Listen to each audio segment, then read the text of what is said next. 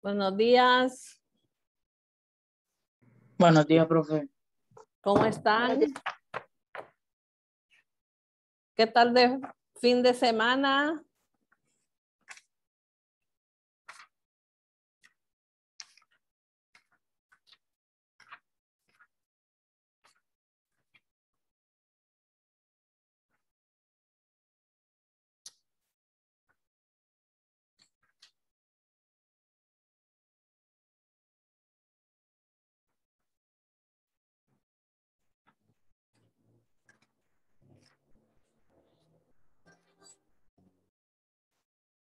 Ok, vamos con el tema.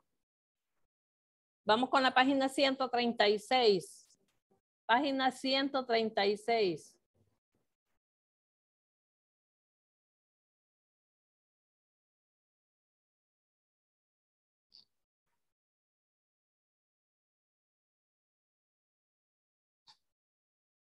Página 136.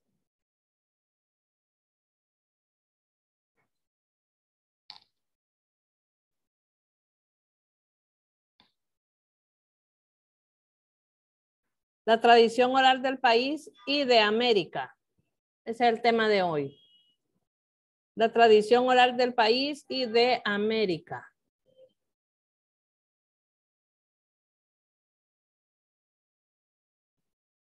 Nombre y fecha de hoy. El nombre de ustedes y la fecha de hoy.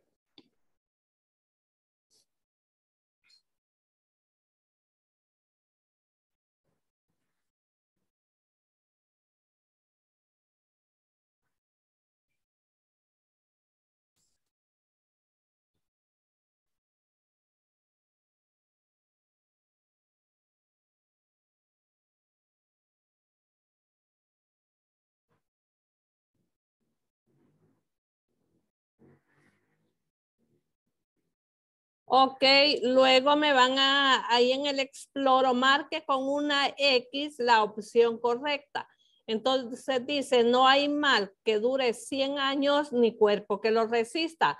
Entonces, dice la pregunta, ¿a qué tipo de literatura oral corresponde el ejemplo? Entonces dice bomba, refrán, adivinanza. Entonces me van a marcar ustedes con una X a qué tipo de literatura pertenece. ¿Ok?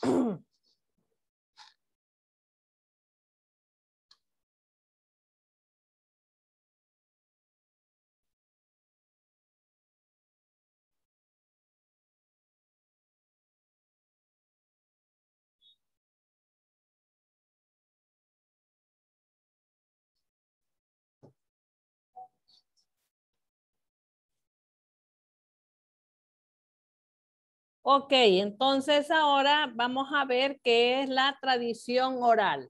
Bueno, la tradición oral nosotros le llamamos a las costumbres, em, a los conocimientos, experiencias, o sea, son las costumbres, son las celebraciones que se hacen en un pueblo, o sea, un pueblo, digamos, es un país en general, porque luego la memoria, la, la memoria colectiva es de un solo lugar. Entonces, la tradición, perdón, la tradición oral es todo lo que son las celebraciones, es la cultura que se hace en un pueblo, en un país. Digamos, aquí en Honduras hay varias celebraciones de varios, de varios como el carnaval de Ceiba, el carnaval de Danlí, el carnaval de San Pedro. Entonces, esas son eh, tradiciones orales que se, son manifestaciones culturales que se hacen en un, en un país, en un país en general y que esas van de generación en generación, o sea que se va transmitiendo em, de generación en generación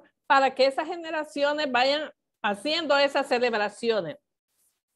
Digamos, nosotros la celebración del cacique la empira, nosotros la hacemos. ¿Por qué? Porque es una tradición de todo el país. Entonces, esa es una, una tradición oral. ¿Por qué? Porque la hacemos en todo Honduras, o sea, no solo la hacemos en Tegucigalpa, entonces esa es una tradición oral y viene siendo de generación en generación, o sea que nuestros ancestros vinieron, eh, desde nuestros ancestros se viene haciendo esa celebración. Em, a la tradición oral pertenecen las leyendas, los cuentos, en las canciones populares. Nosotros tenemos canciones populares aquí en Honduras. Vamos a ver, tenemos Mi novia Seiba, eh, todas las canciones folclóricas que nosotros tenemos, eh, eh, las joyas hondureñas, ¿cuáles otras tenemos? Tenemos Candú, tenemos El Sueñito, todas esas canciones son canciones, son canciones propias de nuestro país. Entonces, vamos a ver quién me lee la tradición oral.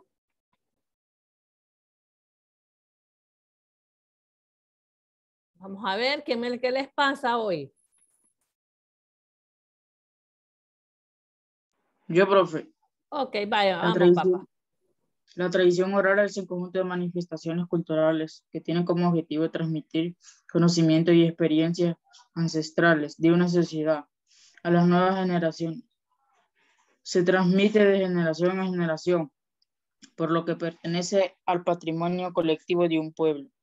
Algunas de estas expresiones son los mitos, las leyendas y las canciones populares. La tradición oral se caracteriza por dos elementos principales. Ok, entonces, ¿qué nos dice que es el conjunto de manifestaciones culturales que tiene como objetivo transmitir los conocimientos? O sea, esos conocimientos, como les digo, son eh, son las cosas culturales, son las cosas culturales de cada país, de una sociedad, y que nos las han transmitido a nosotros de generación en generación y pertenecen al patrimonio colectivo de un pueblo. Algunas son, como les dije, ya les había dicho yo, las leyendas, las canciones populares, eh, eso más que todo. Bueno, la tradición oral se caracteriza por dos elementos. ¿Cuáles son e, esos dos elementos? La identidad cultural y la memoria colectiva. Ok, ¿quién me ayuda con la memoria, con la identidad cultural y la memoria colectiva?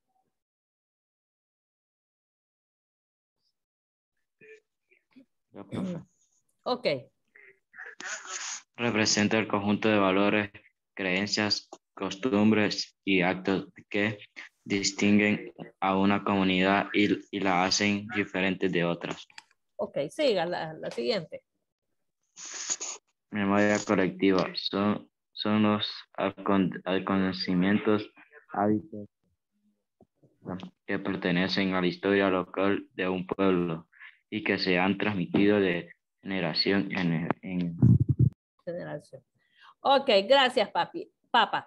Dice, identidad cultural representa conjunto de valores, creencias, costumbres y actos que distinguen a una comunidad y la hacen diferentes de otras. Entonces, la identidad cultural es el conjunto de todas esas, de todas esas creencias y costumbres y que hacen diferencia de un lado a otro. Entonces decimos, el carnaval de Ceiba no es igual al de, San Pedro, ni el de San Pedro es igual al de Danlí. Entonces eh, se distingue de cada comunidad, cada uno de, de los carnavales, a cada una de las ferias. Y la memoria colectiva son los acontecimientos, hábitos, costumbres y prácticas que pertenecen a la historia local de un pueblo y que se transmiten de generación en generación. Entonces aquí vamos, la memoria colectiva es el conjunto de acontecimientos y hábitos y costumbres. Entonces aquí sí, ya es de parte de cada pueblo. Digamos, el carnaval de Ceiba es a nivel internacional, igual el carnaval de Daní, pero se celebran de diferentes maneras, hay diferentes costumbres, en Ceiba se hace, es, un carnaval y en, en Daní se hace un carnaval, pero es un carnaval del maíz, donde se, donde se expone todo lo que es del maíz, ahí hay elotes, ahí hay montucas, ahí hay tamalitos, ahí hay fritas, ahí, o sea, hay atol.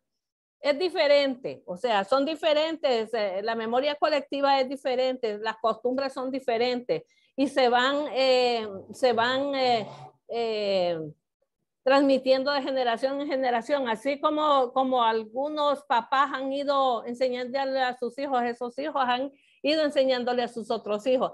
Entonces, son los hábitos. Digamos, en Olanchito se hace el carnaval del jamo. Entonces, ahí usted va a encontrar en ese carnaval jamo de, hecho de varias maneras, con coco, sin coco, frito, de todas maneras lo va a encontrar jamo. Entonces, como le digo, la memoria colectiva es eso. Entonces, la diferencia es que la identidad cultural representa a todo el pueblo de Honduras. La, eh, la, la identidad cultural y la y la, colectiva representa cada uno de los lugares.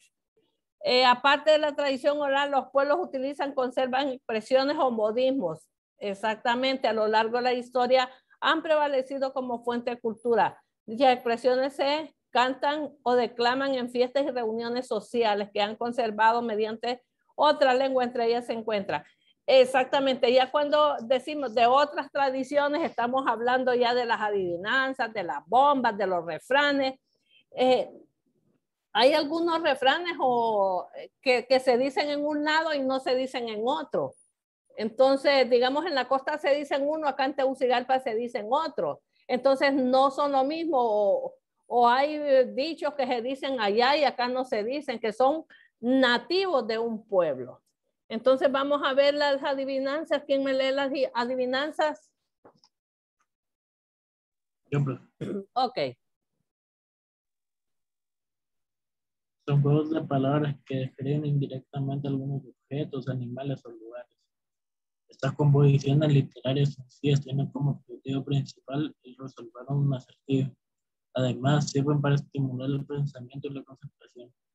En las adivinanzas pueden atribuirse a cualquier elemento de la naturaleza, facultades propias de los seres humanos. Incluso algunas adivinanzas pueden tener rima para darle sonoridad a las trofas. Sus características son. Ok, entonces, ¿qué nos dice que las bombas son acertijos? Son acertijos y son expresiones breves. Hay veces que usted dice, vaya, vamos a hacer una adivinanza y empiezan a hacer una adivinanza, ¿verdad? Entonces, eh, vamos a ver quién me dice una adivinanza.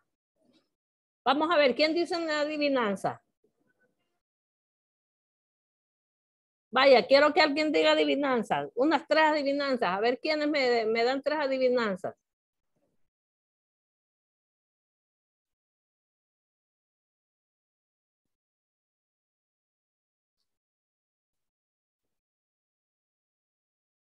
Josué, ¿qué está haciendo? No está poniendo atención a la clase, Josué, ya ratos lo miro yo que está escribiendo.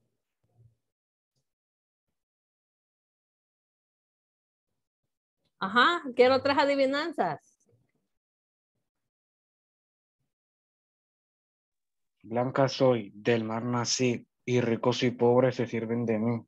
Vaya, contesten esa adivinanza. La sal. Ok, vaya otra, ya. Ok, otra adivinanza, vamos a ver. Gua canastía, te canastía, ma canastía y la canastía. Vaya, vaya, contesten. Guatemala. Es esa, es Guatemala. Sí. Ok, otra adivinanza. Vamos a ver otra adivinanza. Alístense porque lo puede decir adivinanza, bombas y refranes. Vaya, va, otra adivinanza.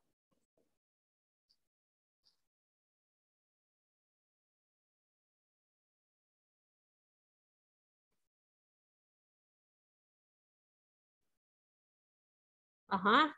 ¿Qué pasa con los demás?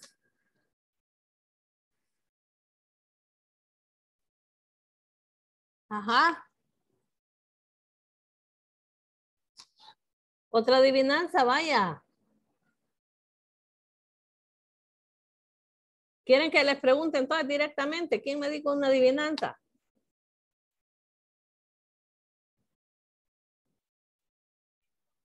Pues sí, sí.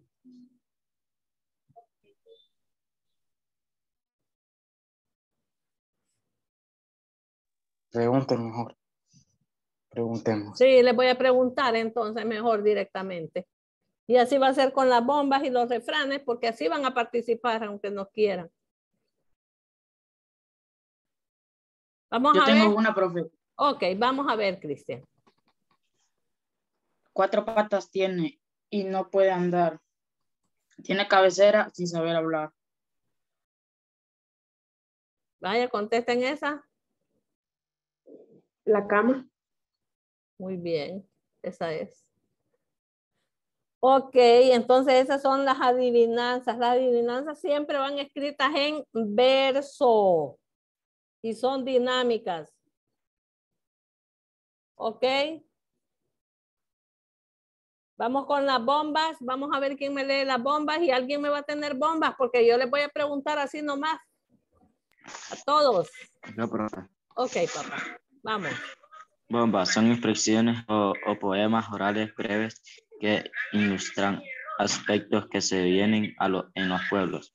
A veces se cantan o se declaman en reuniones sociales, celebraciones culturales o, fiestas cívicas. Estas expresiones pueden ser jocosas, románticas, picarescas,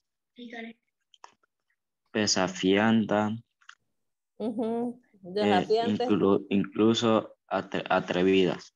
Generalmente están redactadas en, en cuatro por versos, con rimas consonantes y cada verso tiene ocho sílabas. Por ejemplo, si el sol del cielo cayera y al flotar se quebrará, sin duda el sol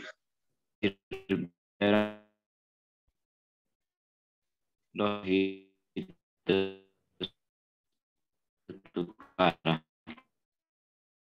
Ok, entonces, ¿qué dice que las bongas son expresiones o poemas orales que ilustran aspectos que viven los pueblos? Exactamente, a veces las declaman, a veces las cantan, las bombas. eh, se usa bastante, la- las bombas se usan bastante en los pueblos. Eh, a la gente le gusta la bomba. Antes se utilizaban más, ahora se ha ido perdiendo eso de, la, esos de las bombas, pero las bombas son muy bonitas. Eh, a veces se cantan, dice, a veces se declaman en reuniones sociales o en actos cívicos, se utilizaban bastantes también. Em, son expresiones, pueden ser eh, jocosas, románticas o picarescas, desafiantes o incluso atrevidas.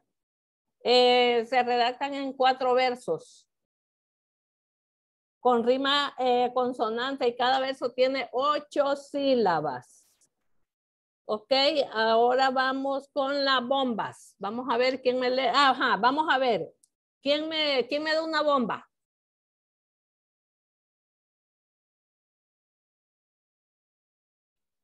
Yo, profe. Vaya, pues vamos, Astrid. Del lejos he venido rodando como un panero, solo para decirte, negrita, cuánto te quiero. En ese viaje que hiciste, creo que te desnutriste porque él tiene los ojos hundidos y la mirada triste. Está bueno. Vamos a ver otra bomba. Otra bomba. Vamos a ver, Josué. Eh, ayer pasé por tu casa, me tiraste un limón, el limón cayó en el suelo y el zumo en mi corazón. Pues, puchica, está buena esa, esa, esa bomba. Vamos a ver otra bomba.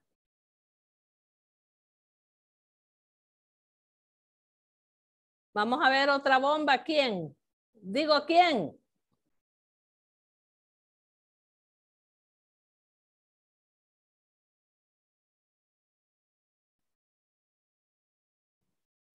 Ah, ¿qué pasa con Andrés? ¿Qué pasa con Aletri? ¿Qué pasa con, con quién más? Cristian ya, con Suani, con María Carranza. ¿Qué pasa?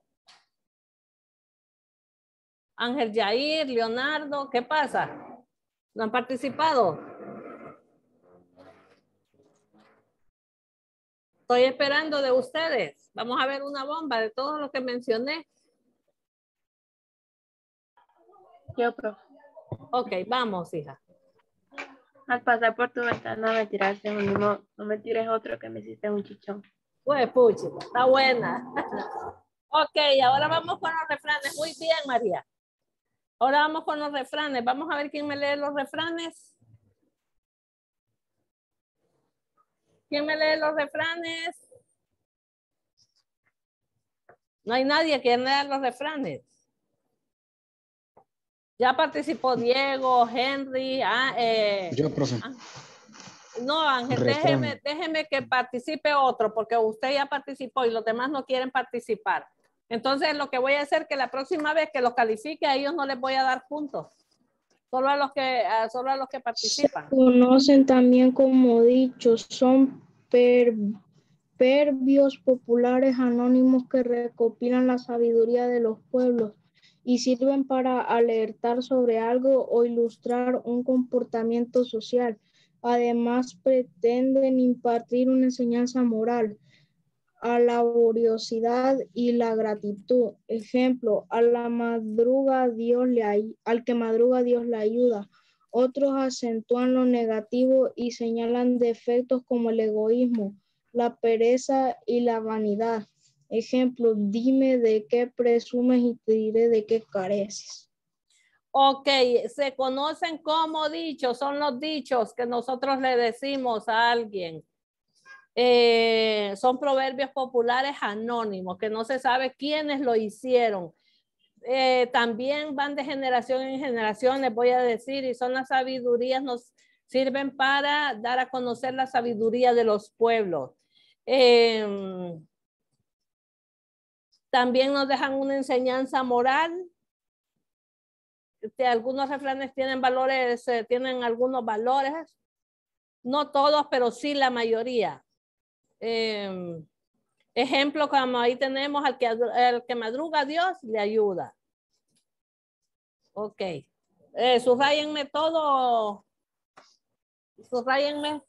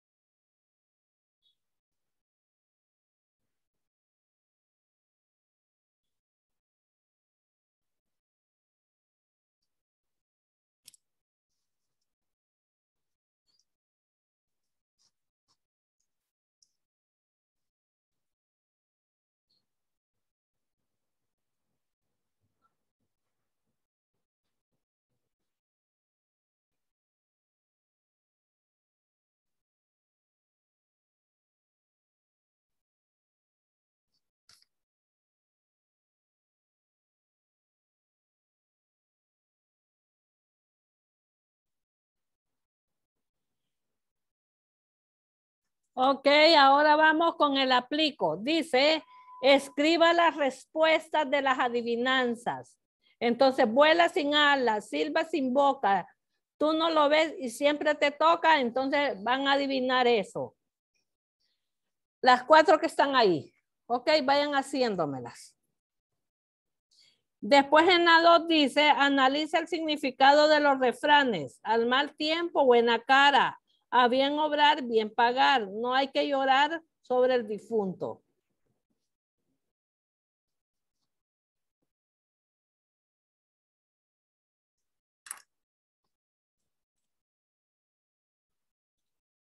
Entonces vamos a trabajar en eso.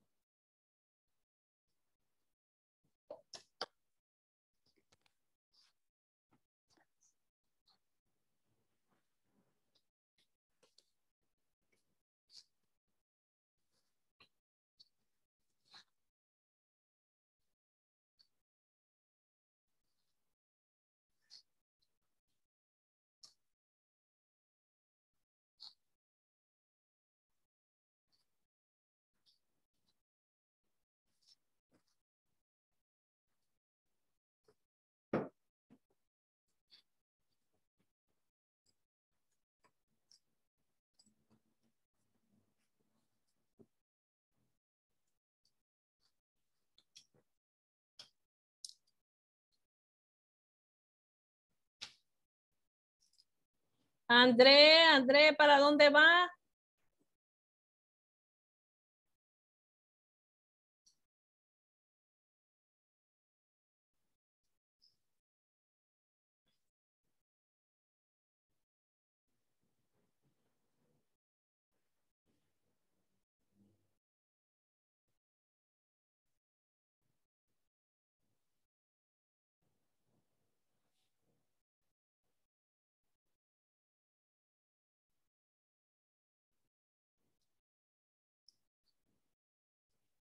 André, ¿por qué se me va sin permiso, André? Que me está sangre en la nariz. Ah, ya. Póngase así para atrás, papá, para que no le... Póngase para atrás.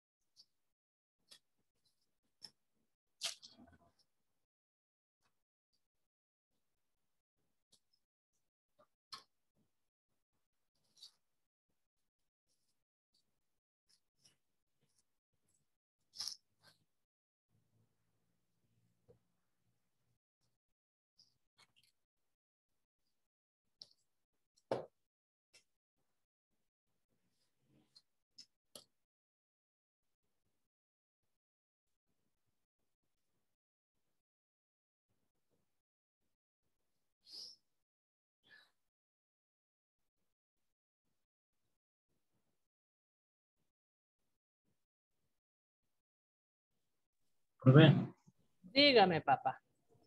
la otra tarea. Diga. Este, el número 4 La número tres, relacione la bomba con la respuesta correspondiente. La 4 habla, dice. No, La la, cuatro. tres, vamos por la tres ahorita.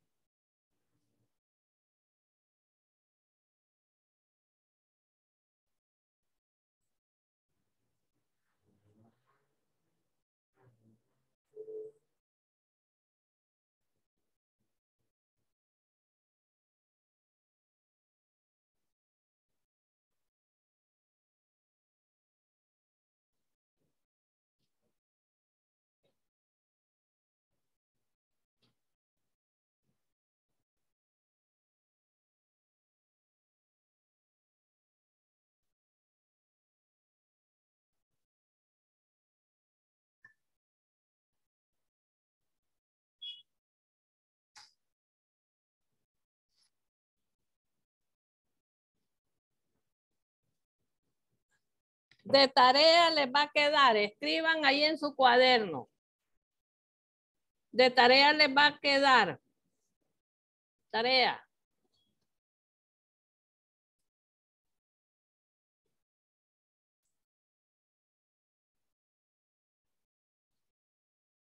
Investigar. Investigar.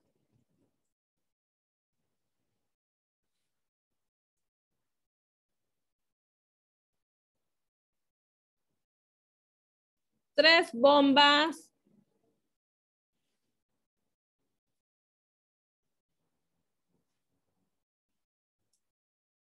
Tres refranes.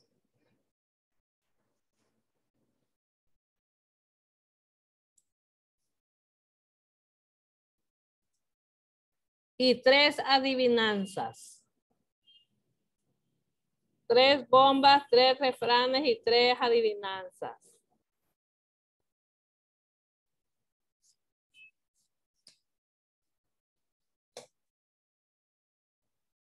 En su cuaderno la van a hacer y esa es la tarea.